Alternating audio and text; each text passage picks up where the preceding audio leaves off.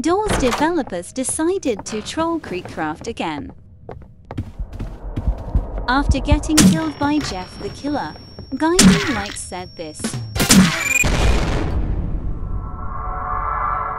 my god, bro. Oh, hell no, man. What the They will probably never stop trolling him.